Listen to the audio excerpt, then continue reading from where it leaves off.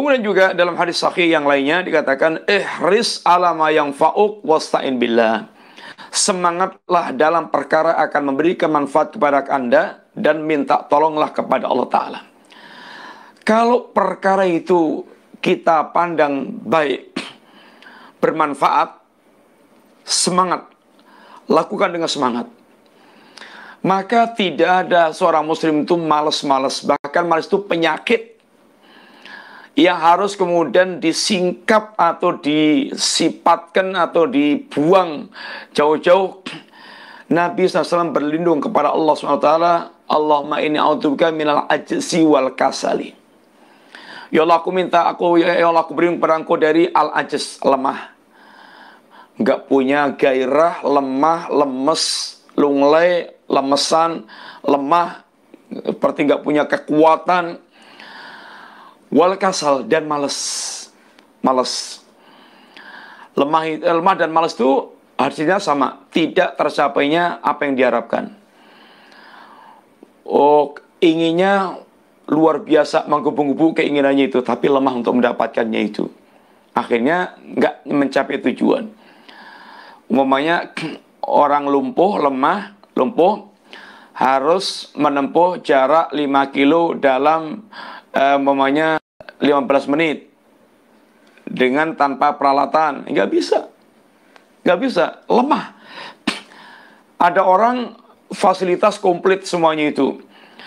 Guru ada biaya ada fasilitas komplit segala macam tersedia.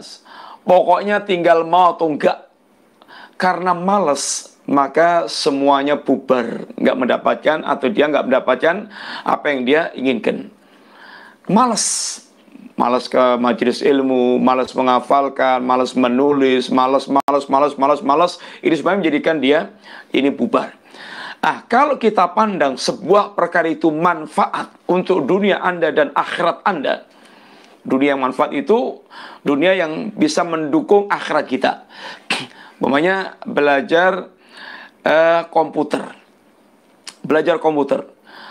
Belajar komputer ini aduh ini ilmu apa ya? Ilmu barat ilmu dunia apa? Uh, ilmu dunia nggak ada apa dengan akhirat. Oh ada. Kalau anda menguasai komputer menguasai dunia IT maka ini akan bisa membantu dakwah seluas-luasnya. Dakwah bisa dinikmati oleh manusia seluruh dunia itu di antaranya karena ini dengan fasilitas IT maka semangatlah belajar IT karena itu manfaat untuk dunia dan dakwah Anda atau untuk dunia dan akhirat Anda, maka semangatlah. Dan itu untuk semua pekerjaan, semua perbuatan. Manfaat, semangatlah. Jangan malas-malasan. Kemudian Wasta'in billah. Di sini yang tidak boleh ketinggalan Nabi memberikan ya ini uh, arahan jangan lupa untuk senantiasa beristianah minta tolong kepada Allah Ta'ala. Karena kita tidak akan mungkin bisa mewujudkan kemanfaatan apa pun yang kita harapkan kecuali dengan pertolongan Allah Subhanahu wa taala. Maka wasta'in billah.